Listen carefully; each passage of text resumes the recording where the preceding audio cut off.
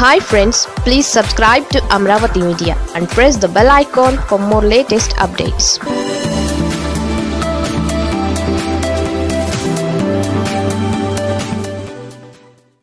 TDP మాజీ మంత్రి Narayana arrest. హైదరాబాద్లో అదుపులోకి తీసుకున్న ఏపీ సిఐడి. తెలుగుదేశం పార్టీకి బిగ్ షాక్. ఆ పార్టీ సీనియర్ నేత మాజీ మంత్రి నారాయణను అరెస్టు చేశారు. హైదరాబాద్లోని తన నివాసంలో ఉండగా ఏపీ సిఐడి పోలీసులు ఆయన్ను అదుపులోకి తీసుకున్నారు. మాజీ మంత్రి ఏపీ సీనియర్ నేత నారాయణను పోలీసులు అరెస్ట్ చేశారు. హైదరాబాద్లోని కొండాపూర్లో ఆయన నివాసానికి వెళ్ళిన ఏపీ సిఐడి పోలీసులు ఆయన్ను అదుపులోకి తీసుకున్నారు.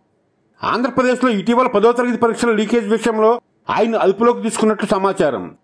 పదో తరగతి పరీక్షలు జరుగుతున్న సమయంలో నారాయణ ఎస్సీ బ్రాంచ్ నుంచి తెలుగు పేపర్ లీక్ అయిందని పోలీసులు గుర్తించారు. పాఠశాలకు చెందిన గిరిధర్ అనే వ్యక్తి వాట్సాప్ నుంచి పేపర్ లీక్ అయినట్లు గుర్తించారు. ఈ విషయంలోనే నారాయణను అదుపులోకి తీసుకున్న పోలీసులు చిత్తూరుకు తరలించి అక్కడ కోర్టులో హాజరుపరచనున్నారు. ఆంధ్రప్రదేశ్లో టెన్త్ పేపర్ లీకేజీలో నారాయణ విద్యాసంస్థల ప్రమేయం ఉందని మొదటి నుంచి ఆరోపణలు ఉన్నాయి. నారాయణ స్కూల్ సిబ్బంది పాత్రపై పోలీసులు కొన్ని రోజుల నుంచి ఫోకస్ పెట్టారు. తిరుపతిలోని నారాయణ ఎస్వీ బ్రాంచ్ నుంచే తెలుగు పేపర్ వెలుగులోకి వచ్చిందని నిర్ధారణకు వచ్చారు.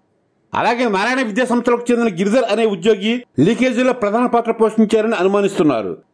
ఉదయం పరీక్ష ప్రారంభమైన వెంటనే గిరిధర్ వాట్సాప్ నంబర్ నుంచి తెలుగు ప్రశ్నాపత్రం బయటికి వెళ్ళింది. పరీక్ష ప్రారంభం అయిన తర్వాత తొమ్మిది గంటల యాభై ఏడు నిమిషాలకు ప్రశ్నాపత్రం లీక్ అయింది. చిత్తూరుతో పాటు అనంతపురం శ్రీకాకుళం జిల్లాలో సైతం పదో తరగతి పేపర్ల లీకేజ్ వ్యవహారం కలకలం రేపింది. ఇటీవల సీఎం జగన్ సైతం దీనిపై ఘాటుగా స్పందించారు. పదో తరగతి పరీక్ష పేపర్లు లీక్ చేసింది నారాయణ చైతన్య విద్యాసంస్థలే అని ఆరోపించారు. వారే పేపర్ లీక్ చేసి దొంగ దొంగ అన్నట్లుగా వ్యవహారం ఉంది అన్నారు.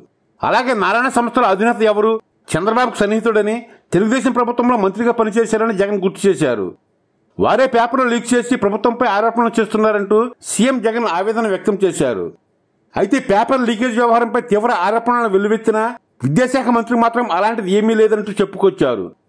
కానీ స్వయంగా సీఎం జగన్ మాత్రం పేపర్ లీకేజ్ వ్యవహారం నిజమే అంటూ ఎవరు లీక్ చేశారో పేర్లు కూడా బయటపెట్టారు.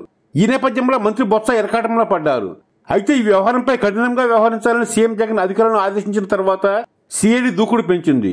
ఇప్పటికే ఈ కేసులో వైస్ ప్రిన్సిపల్ గిరిధర్తో పాటు మరో ఇద్దరిని పోలీసులు అదుపులోకి తీసుకున్నారు. ఈ విషయం వెలుగులోకి వచ్చిన దగ్గర నుంచి అంటే గత నాలుగు రోజులుగా నారాయణ ఫోన్ స్విచ్ ఆఫ్ చేసి అజ్ఞాతంలో ఉన్నారని పోలీసులు అంటున్నారు. ఈ నేపథ్యంలో ఆయన పోలీసులు అదుపులోకి తీసుకున్నట్లు తెలుస్తోంది. టీడీపీకి చెందిన మాజీ మంత్రి నారాయణ అరెస్ట్ తెలుగు రాష్ట్రాల్లో సంచలనంగా మారింది. ఆయన చిత్తూరు కోర్టులో ప్రవేశపెట్టనున్నారు.